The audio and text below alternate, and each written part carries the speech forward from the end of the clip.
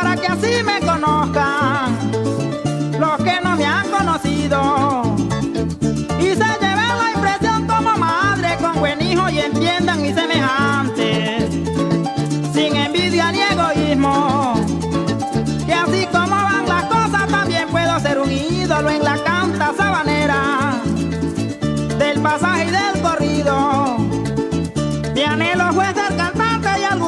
conocido para defender lo nuestro con honor y patriotismo. Porque día por día, señores, se está perdiendo el piollismo. Y hoy dando mi primer paso, mi pecho siente un alivio. Porque mi canción el pueblo la recibió con cariño y a donde quiera que voy,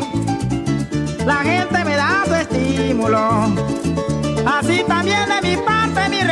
se lo brindo, porque yo voy a seguir con mi cantar peregrino, difundiendo nuestra música en pueblos y caseríos, del Arauca con el Meta, el Bichada y sus bajíos, y sobre todo en mi tierra, el Casanare bravío. Estas son mis esperanzas que de mi pecho han nacido, aunque no soy canta claro, ni tampoco florentino, ni mucho menos el diablo, ni caimán en remolino, ni peleo con los espantos, siendo cuentos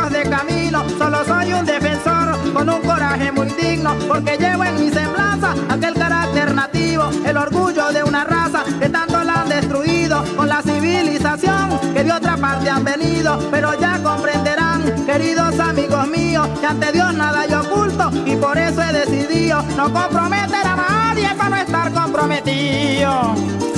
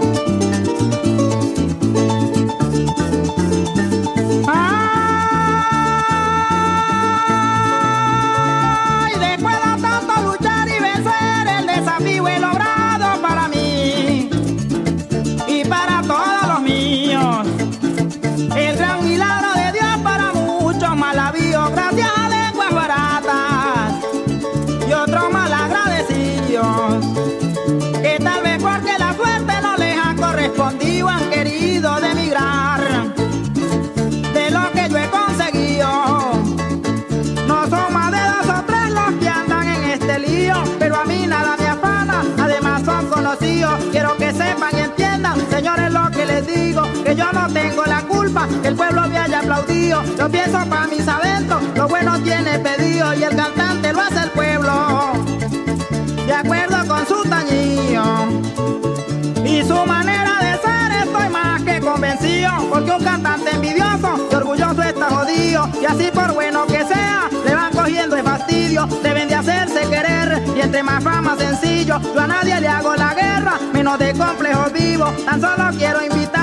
que luchemos unidos, miren que nuestro folclore debe de coger prestigio, hasta cuando nuestra música lleva maltrato y martirio, y los que van adelante, abriéndonos el camino, como hecho Tirso Delgado, Juan Farfán y Alfonso Niño, y en Venezuela el Carrao, Jesús Moreno y Francisco, yo también con mi cantar, soy nuevo pero lo sigo, y según los comentarios y las riendas del destino, mañana será